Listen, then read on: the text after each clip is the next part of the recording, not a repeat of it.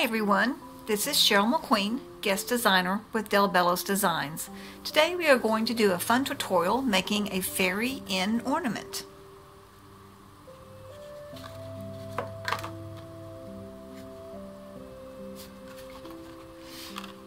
Our fairy inn ornament will be made out of a paper house.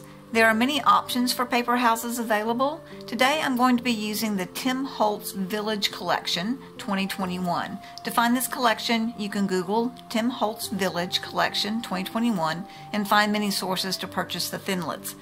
Uh, the cutting pieces are made by Sizzix. Um, I have seen other paper house options online and there are templates on Etsy as well.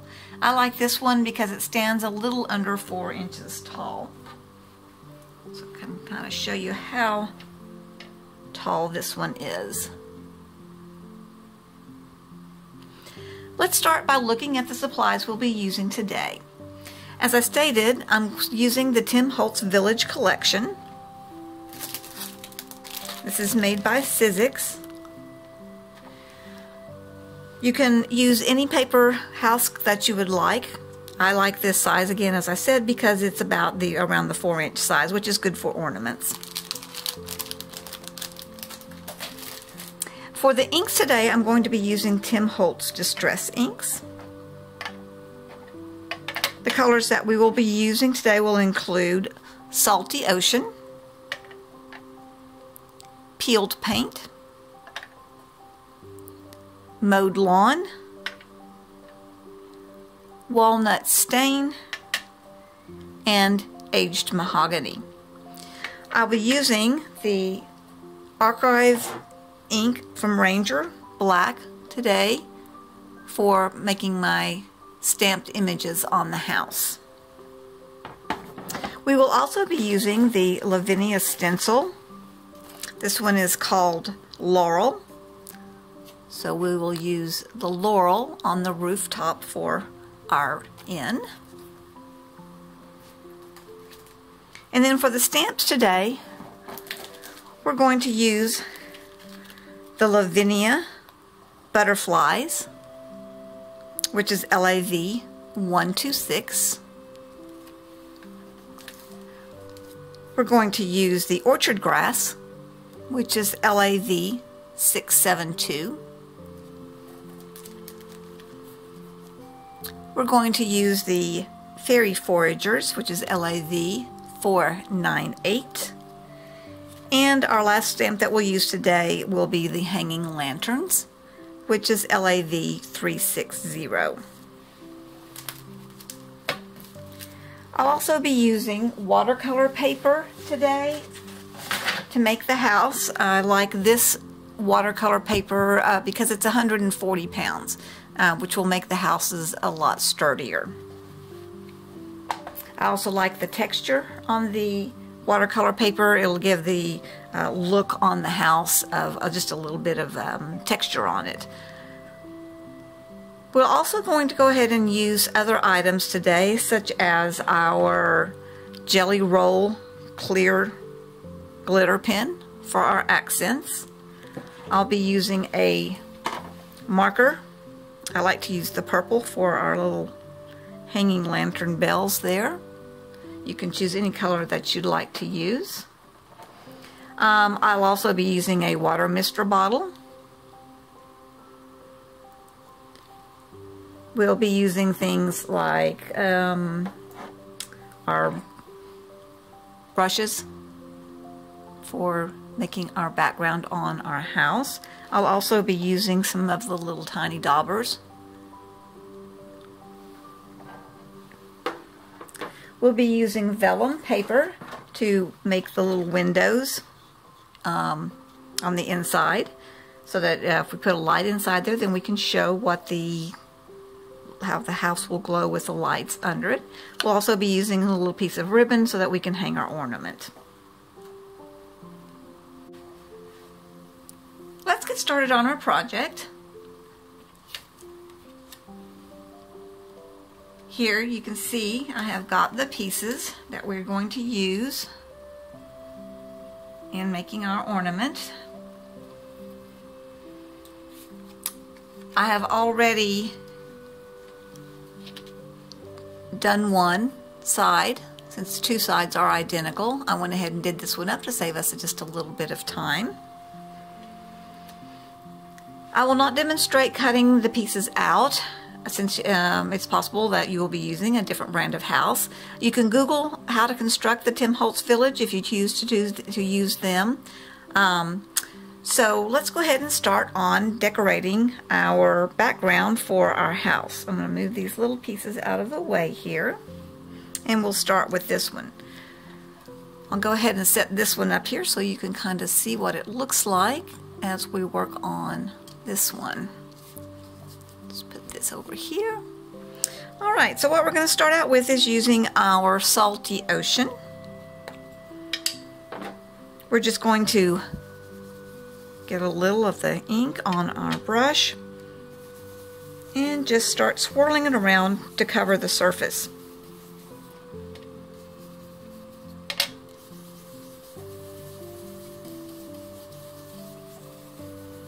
You actually don't want this to be real even. You like to have the lights and the darks and the different swirls showing up. This gives a little bit more of a realistic look to the piece. If it's just all one solid color, then it doesn't have much of a realistic look to it.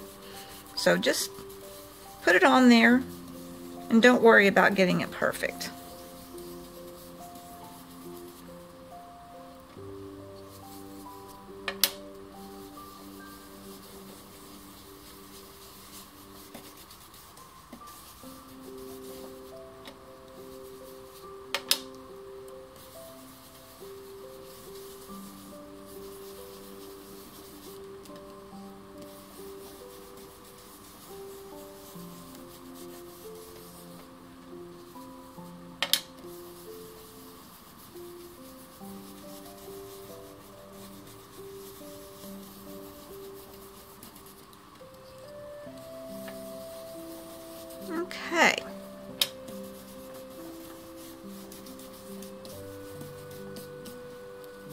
There we go.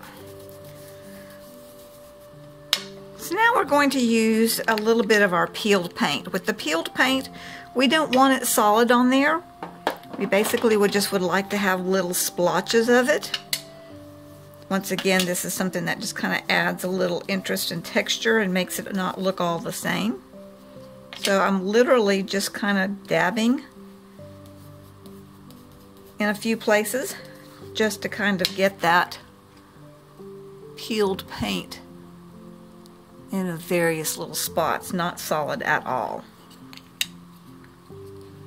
Then we're going to take our mahogany, aged mahogany, and we're just going to, as you see on this one, just kind of got to go around the outer edges of it. So we'll just take a little bit of that and just kind of do a few little edges, outer edges.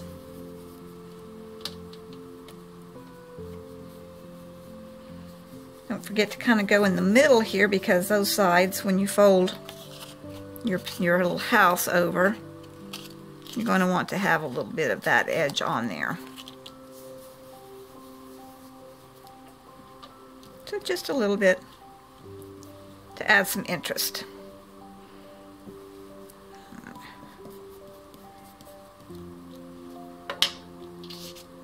And that's basically it. There's not much that goes on with putting the background. Again, you don't have to worry about it being exact or uh, solid because you want it to look a little bit more realistic.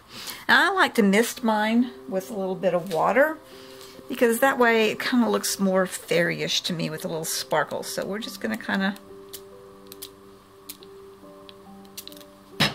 do a few little squirts and then just dab it up with a paper towel.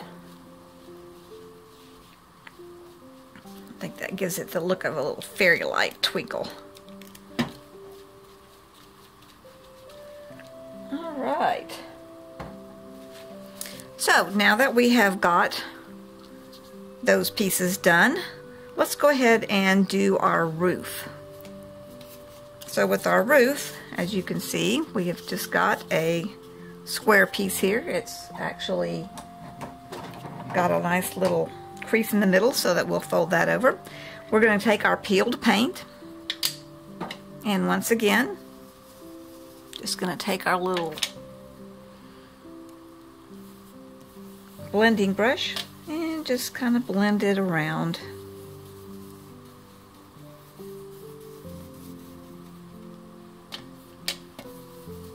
Again, you don't want it to be neat and perfect. You'd like for it to have a little bit of different colors and textures and variations so that it looks a little more realistic.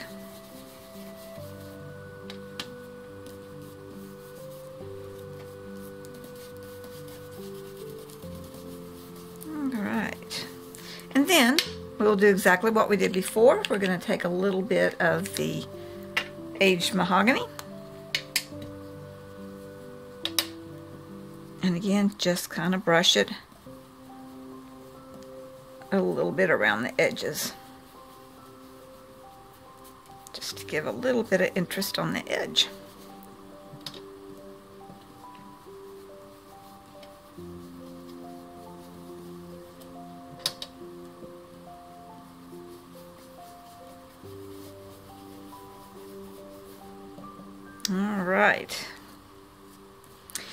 Is now where we're going to go ahead and use our stencil. Um, as you can see here, it might be a little hard to tell, but I've got some little, I used the, the laurel leaf to put on the top of the roof. So we are going to go back to our peeled paint. We're going to take our stencil and just basically just lay it on top. And again, we're not worried about getting anything solid. We actually just kind of like to give the little hint.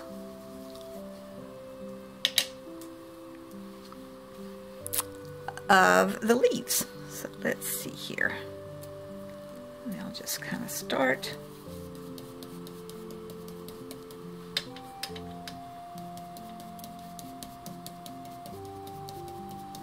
And again, I don't want it solid. I just want it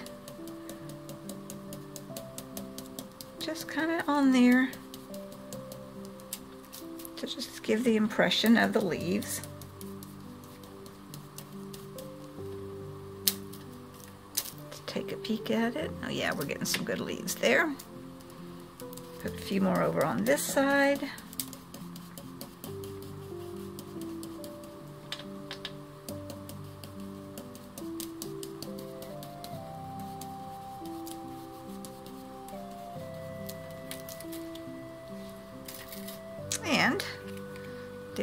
Now we have the look of our leaves on the, the roof piece. Alright, so now we're ready to go ahead and start doing our stamping. So let's go back to our two pieces here that we have for the house. I'm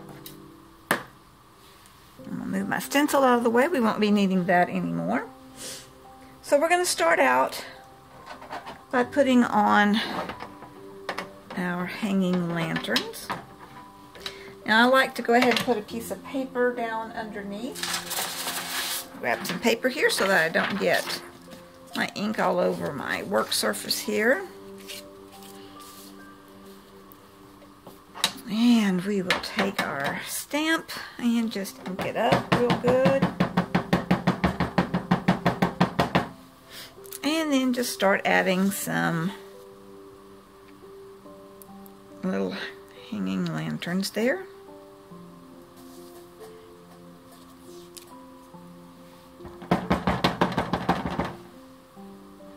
We can even have it going some across the window if we'd like.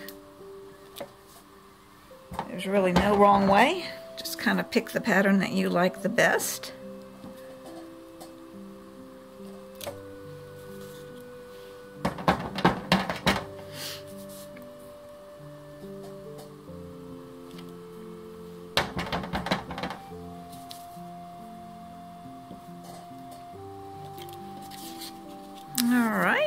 Move on to our second piece. Do the exact same thing.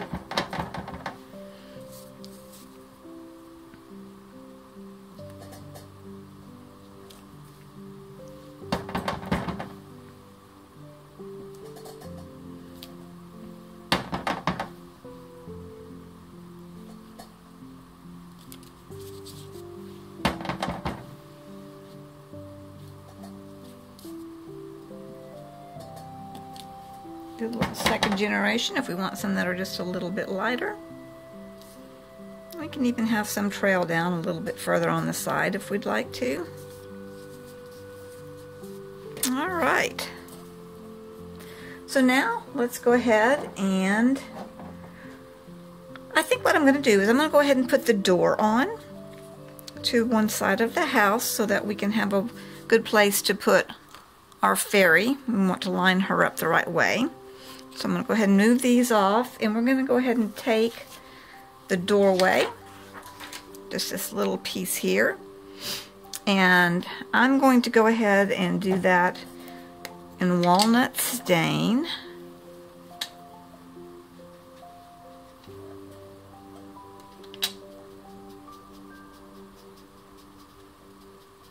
Just put a little bit of ink on it. Very simple.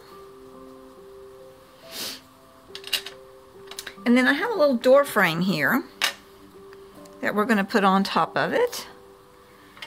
And I'm going to go ahead and do the door frame with the aged mahogany. Just a little slight different contrast there.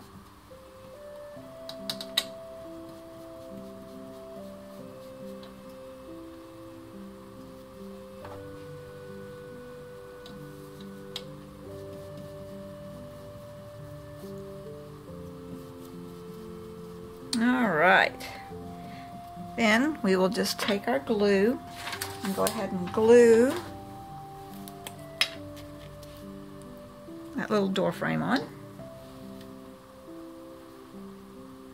I love these glues that you can have a very teeny tiny little line.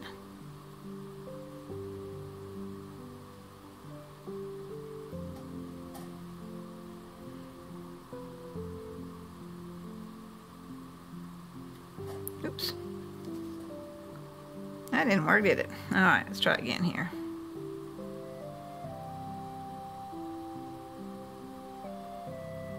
Alright.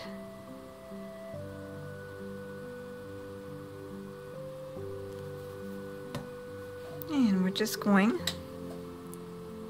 place that right on top there so that we've got a nice cute little door frame. That dries for just a second, we'll clean up our little mess we made here with the glue. All right. Then we're ready to go ahead and glue the door in place. We'll just glue that on. Then we'll be ready to put our fairy next to the door.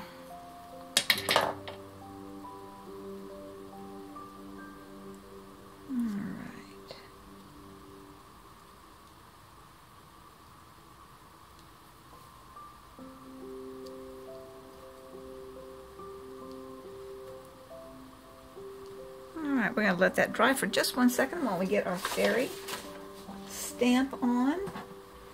We're going to go ahead and use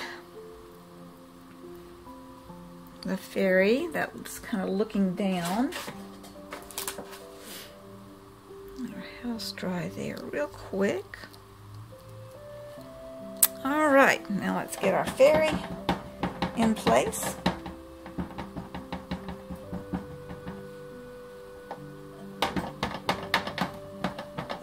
Stamped up there, inked up onto the stamp.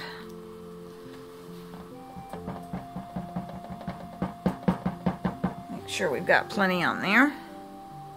And then we're just going to kind of have her looking down at the door.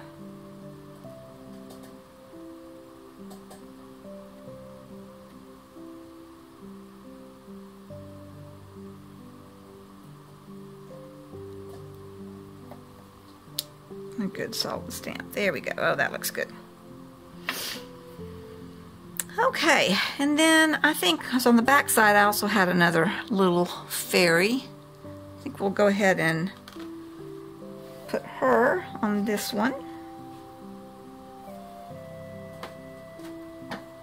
My little lantern fairy out here. Do the same thing. We'll stamp her up really good her on the back of the house.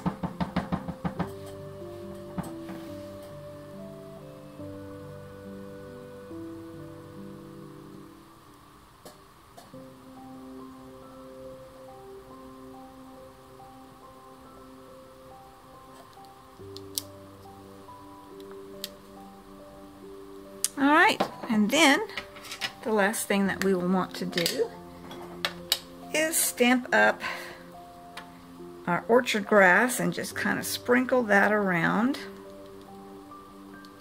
the bottom of the house. Oops.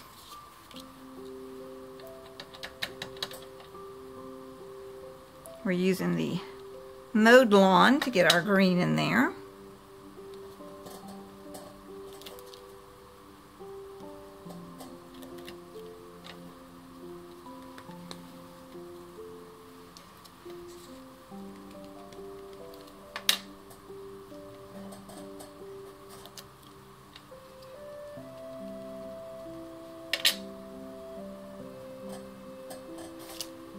And we'll do that on the other side as well.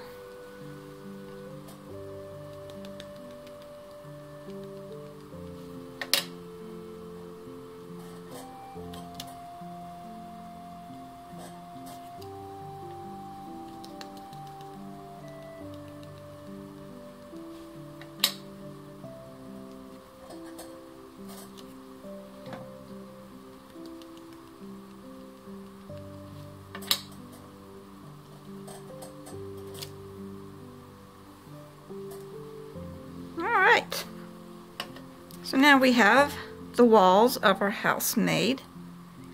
If we would like to then, uh, you can either draw in with a marker for your window frames or if you would rather, you can add more door window frames. That's the nice thing I like about the Tim Holtz set is that it does come with little different window frames that you can color as you like and add on there.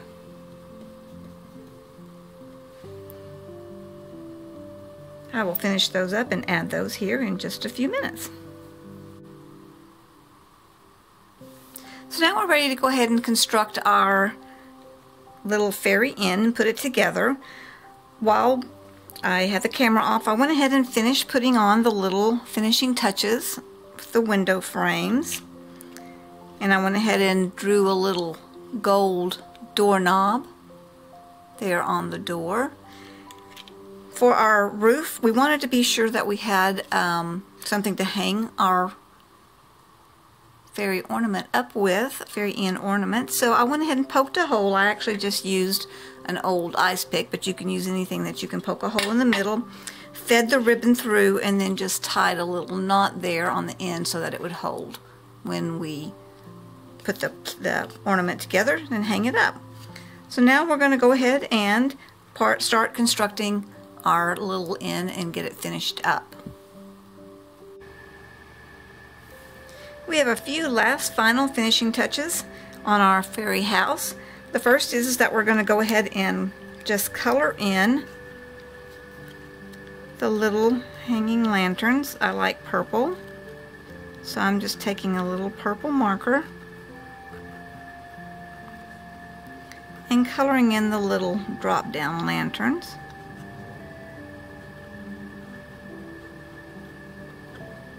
And we'll do that on all sides of our house.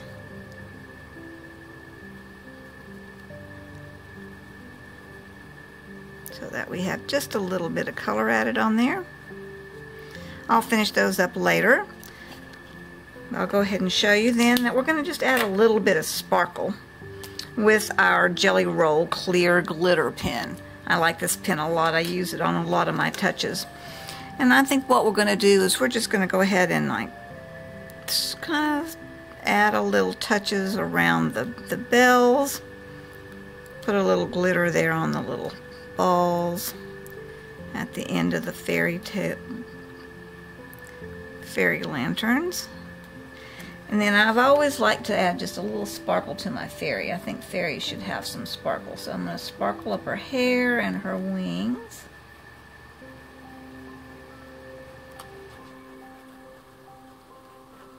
Just add that little sparkle and then of course her little lantern needs to sparkle as well.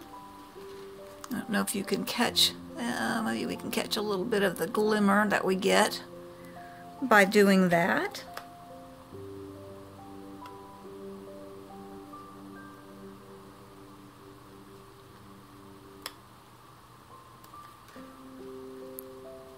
There we go. And then of course our fairy on the front, we'll need to do her as well. Sparkle up her hair and her wings.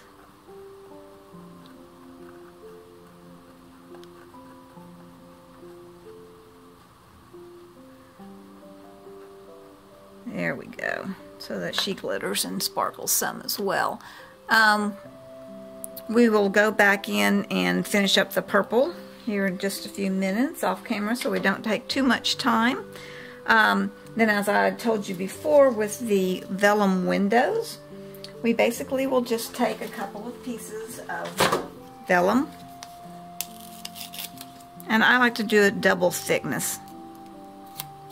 Just fold it in half and then we'll just take a little bit of tape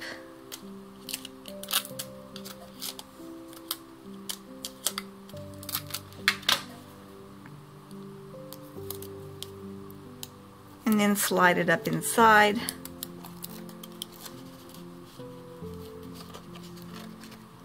And then just stick it down. It might be a little easier to actually put your vellum windows in um, before you construct it.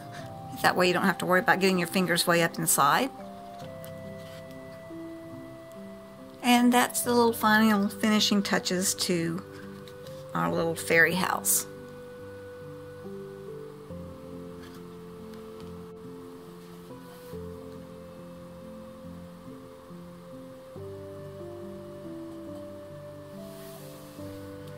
So now we have put our little fairy house together. I did not uh, show you the instructions on how to do that because you may have a different house. You can always Google uh, how to construct the Tim Holtz Village Collection. So now our final touch that we're going to put on is our little Fairy Inn sign. I'm going to go ahead and take a little bit of our blue that we used, the Salty Ocean, in our basic part of our house, and I'm just going to kind of Oops, put a little bit. That was the wrong color. Here we go. A little bit of the blue onto our sign.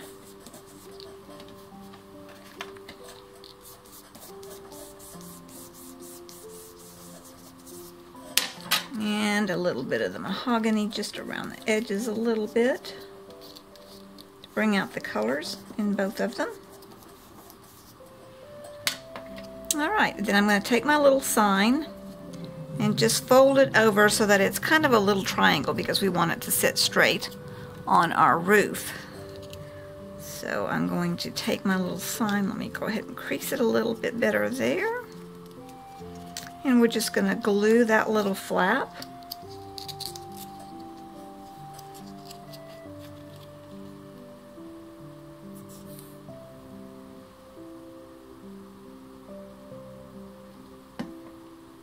over and that way it's going to make our little triangle here. Hold that for just a second to get it to, the glue to stick.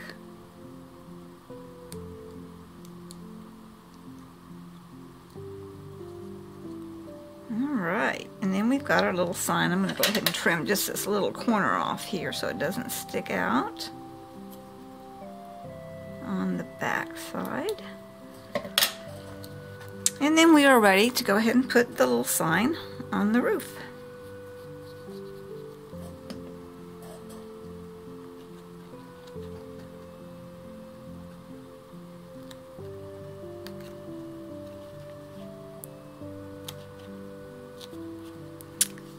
And there we go. We've got our little fairy inn. We've got our fairy looking at the door there.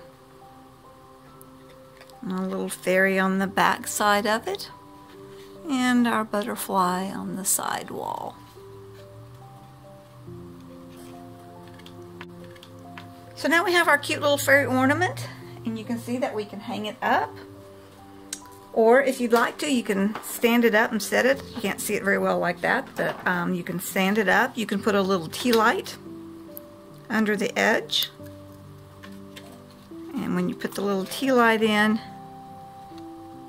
then you can kind of see the glow there. And actually, one of the things I didn't do was put the vellum in this one. So let me show you the one that I did put the vellum. It really does a nice soft little glow when you put the light in, in the windows.